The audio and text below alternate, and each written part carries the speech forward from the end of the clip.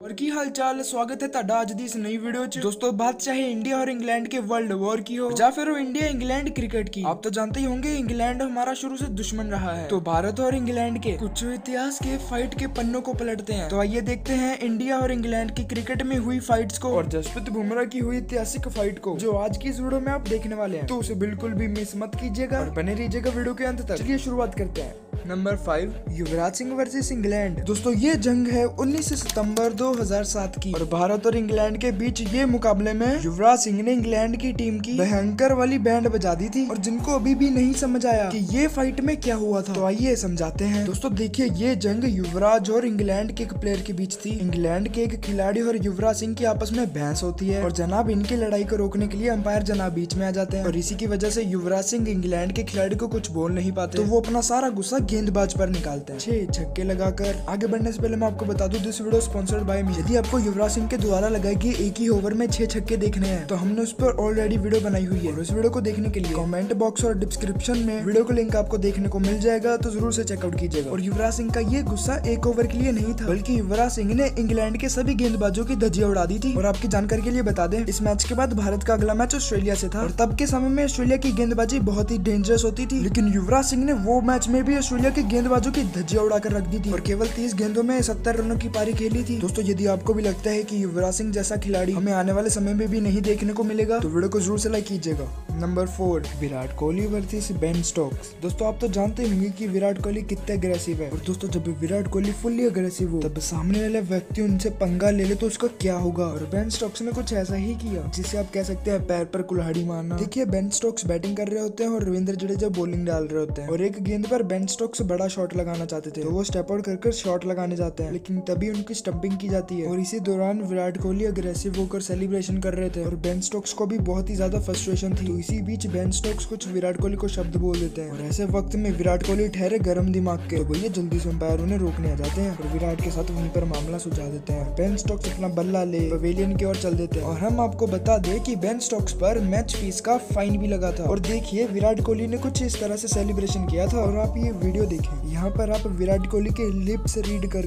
Comment box में ये ज़रूर से लिखें कि वो क्या कह रहे हैं। आई मीन आपको क्या समझ आ रहा है कि वो क्या कह रहे हैं। चलिए, बढ़ते हैं नेक्स्ट फाइट के ऊपर। Number three, Anderson versus Jasprit Bumrah. दोस्तों, इंग्लैंड के हाथ में इकलौती विकेट होती है और जसप्रीत बुमराह के सामने होते हैं एंडरसन और दूसरे बल्लेबाज होते हैं जोरू। बुमराह एक ओवर डालने आते हैं और पहली बॉल एंडरसन को बाउंसर डालते हैं, जो सीधा जा उनके हेलमेट पर लगती है और उन्हें पूछा जाता है की, हाल चाल वधिया तो बोलते हैं ये ये ओके ओके और वही जसप्रीत बुमराह दूसरी तरफ़ अपील कर रहे होते हैं की गेंद पहले ग्लव्स पर टकराई थी और ये कैच किया गया है और ये बल्लेबाज आउट है, मेरे खाते में एक विकेट आ रही है। अंपायर तो जनाब चेक करते हैं, जिसमें सीधी सीधी गेंद जाकर हेलमेट से टकराती है और भैया एंडरसन के चित्रे उड़ा देती है।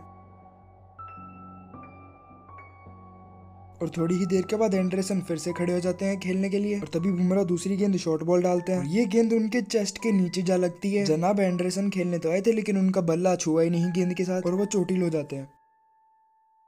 और एंडरसन अभी भी बैटिंग कर रहे होते हैं और उनके चेहरे पर साफ़ दिखाई दे रहा होता है कि उनकी गेंद बहुत ही ज़ोर से लगी थी। लेकिन तब भी बिजली के खंबे की तरह खड़े हैं और जसप्रीत बुमराह की तीसरी गेंद सीधा उनके चेस्ट में लग रही होती है। लेकिन वो तो भगवान का लाख लाख शुक्र है कि एंडरसन के बल्ले का किनारा लग जाता है। अगर बल्ला नहीं आता तो एंडरसन को अपनी जान भी गंवानी पड़ सकती थी। और अभी एंडरसन सिंगल की तलाश में थे फिर वो चौथी गेंद खेलने के लिए रेडी हो जाते हैं। और बुमराह की ये गेंद एंडरसन के हाथों पर टकराती है। लेकिन ये चौथी बॉल मानी ही नहीं जाती क्योंकि बुमराह भाई ने ओवर स्टेप कर दिया था और एंडरसन को एक एक्स्ट्रा गेंद खेलनी पड़ी और फिर चौथी गेंद डालते हैं, जो एंडरसन हालाँकि खेल देते हैं, लेकिन फील्डर के हाथों में, और उन्हें एक रन नहीं मिलता। और फिर बुमरा डालते हैं पांचवी गेंद, जो होती है जड़ में यॉर्कर। और ये बॉल पर बुमराह को विकेट मिली गई थी, लेकिन बॉल खेलने के बाद विकेटों से चुक गई। हालाँकि ये गेंद विकेटों से भी टकराती, तब भी बल्लेबाज आउट नहीं माना जाता, क्योंकि बुमराह जनाब ने ये गेंद भी नो बॉल डाल दी। और बुमरा फिर से पांचवी गेंद डालते हैं, और एंडरसन उसे जैसे तैसे करके खेल लेते हैं। अभी वैसे तो बुमरा ने सात गेंदे डाल दी थी, लेकिन नो बॉल की वजह से अभी भी एक बॉल पड़ी थी। और बुमरा छवी गेंद डालते हैं, और एंडरसन बुमरा के खौफ की वजह से बॉल को लीव कर देते हैं। और एंडरसन को लगता है की जान छूटी तभी अंपायर जनाब हाथ देते हैं कि ये तो नो बॉल है। और बुमराह से कहते हैं, आइए इस ओवर की नौवीं गेंद डालिए। और इस पे एंडरसन भी मुस्कुरा देते हैं और मन ही मन सोचते हैं कि अभी तो इस जानलेवा बॉलिंग से पीछा छूटा था। और अब एक गेंद और खेलो। और जैसे तैसे करके बुमराह की ये गेंद भी वो खेल लेते हैं। और आपको बता दें कि बुमराह को अभी तक कोई भी विकेट नहीं मिली इस मैच में। और हैरानी की बात तो ये है की ये बॉल भी नो बॉल है। जसप्रीत बुमराह विकेट की तलाश में ज़्यादा एफर्ट तो लगा रहे हैं, लेकिन बाई मिस्टेक ओवर स्टेप कर जा रहे हैं। और बुमराह की ये ओवर की आखिरी गेंद, यानी कि इलेवेंथ बॉल सटीक जड़ में यॉर्कर होती है। लेकिन एंडरसन खेल लेते हैं और रन भी नहीं भागते। इस ओवर में बुमराह ने ग्यारह गेंदे तो डाल दी, लेकिन उन्हें इस ओवर में विकेट की तलाश थी, वो तो मिली नहीं। एंडरसन फालतू में ही पिट गए। खैर, आगे बढ़ते हैं। Number two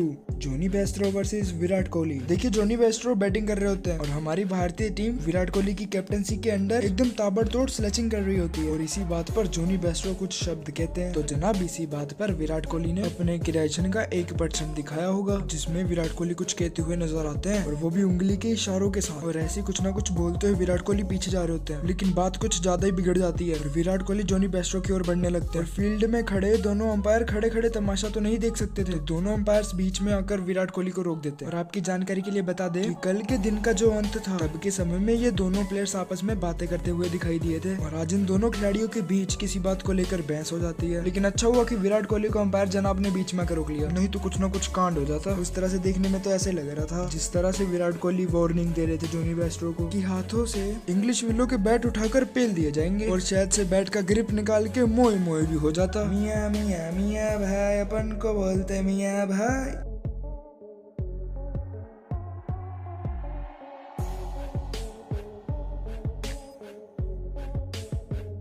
चलिए बढ़ते हैं नंबर वन की ओर। Number one.